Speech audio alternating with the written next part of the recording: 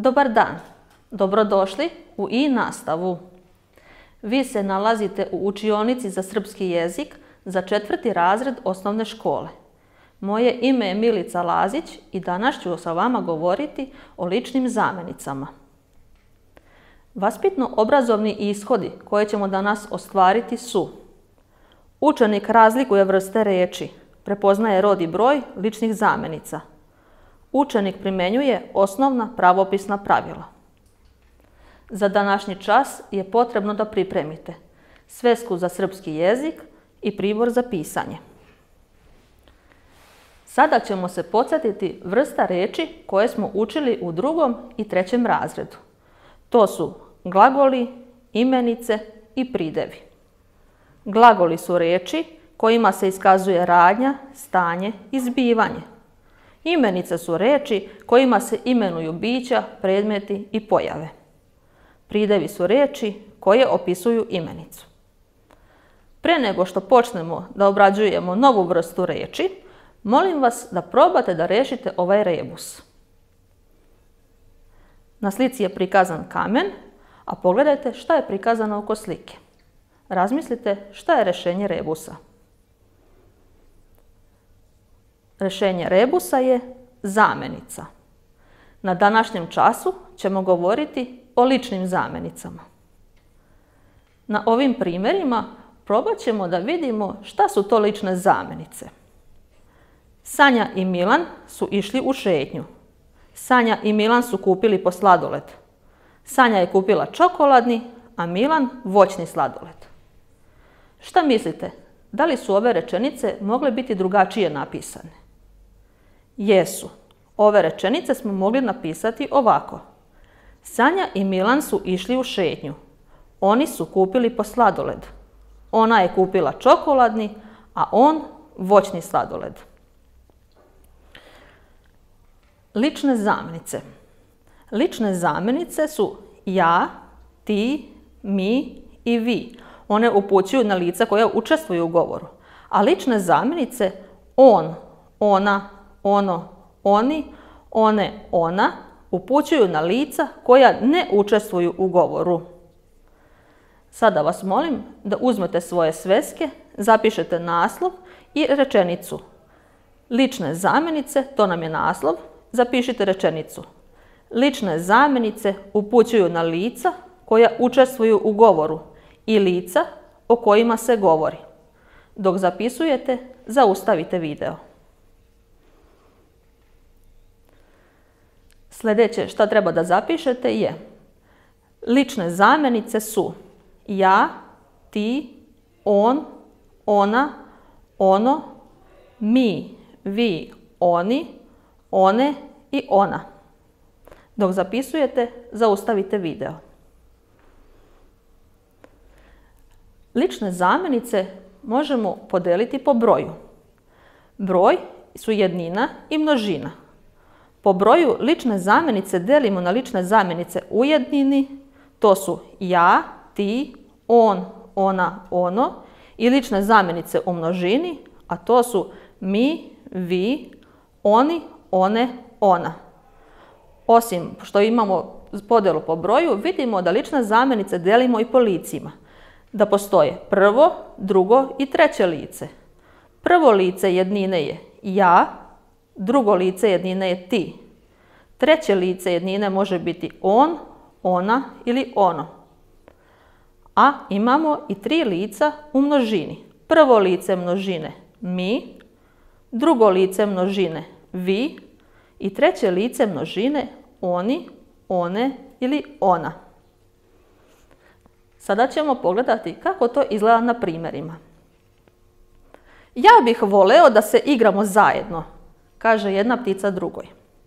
Lična zamjenica za prvo lice jednine, zamjenica ja, upućuje na lice koje govori, odnosno govornika. Ono što je zanimljivo kod prvog lica jednine je da svako od nas kada govori o sebi kaže ja, bez obzira da li je muškarac, žena ili dete. Na primjer, žena kaže ja volim da slikam. Dete kaže ja volim da se igram sa sestrom. A muškarac kaže Ja volim da čitam knjige. Drugo lice jednine glasi ti. Jedna ptica govori drugoj. Da li ti želiš da se igramo? Lična zamjenica za drugo lice jednine, zamjenica ti, upućuje na lice kome se govori, na sagovornika. Treće lice jednine može biti on, ona ili ono. Dve ptice razgovaraju o trećoj ptici, pa jedna ptica kaže drugoj. Da li će ona doći da se igramo? Lične zamjenice za treće lice jednine, on, ona, ono, upućuju na lice o kome se govori. Mi želimo da se igramo s tobom. Ovdje imamo prvo lice množine. Lična zamjenica za prvo lice množine, zamjenica mi, upućuje na grupu u kojoj se nalazi govornik. I imamo drugo lice množine. Kada treća ptica odgovara, vi možete da se igrate, ja ne mogu. Lična zamjenica za drugo lice množine, zamjenica vi, upućuje na grupu u kojoj je sagovornik ili više sagovornika. Možda oni žele da se igraju sa nama, govori jedna ptica drugoj, a one govore u stvari o pticama koje se nalaze sa strane. Lične zamjenice za treće lice množine, oni, one, ona, upućuju na lica koje ne učestvuju u razgovoru ili upućuju na predmete. Sada opet uzmite svoje sveske i zapišite. Lične zamjenice imaju tri lica jednine.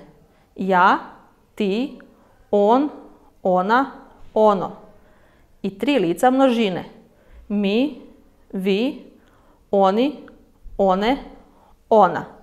Dok prepisujete, zaustavite video. Ono što je važno još da kažemo je da samo treće lice jednine i treće lice množine imaju lične zamjenice za svaki rod.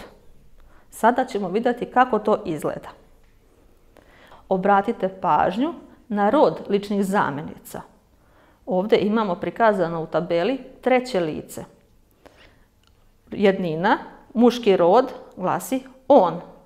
Ženski rod u jednini je ona, srednji rod u jednini je ono. Množina, muški rod u množini oni, ženski rod u množini one i srednji rod u množini ona. Sada vas molim da ponovo uzmete svoje sveske i zapišete. Samo lične zamjenice za treće lice jednine i treće lice množine imaju različite oblike za muški, ženski i srednji rod. Zadaci. Hajde da vidimo da li ste uspjeli da savladate ovo što smo do sada objasnili. Prvi zadatak. U tabelu upiši lične zamjenice. Imate tabelu gdje su napravljena sva tri lica i imate jedninu i množinu. Popunite polja. Dok to radite, zaustavite video. Hajde da vidimo da li ste tačno popunili tabelu. Prvo lice u jednini ja, drugo lice u jednini ti, treće lice jednina on, ona, ono. Prvo lice množina mi, drugo lice množina vi i treće lice u množini oni, one, ona. Nadam se da ste tačno rešili zadatak. Hajde da vidimo drugi zadatak.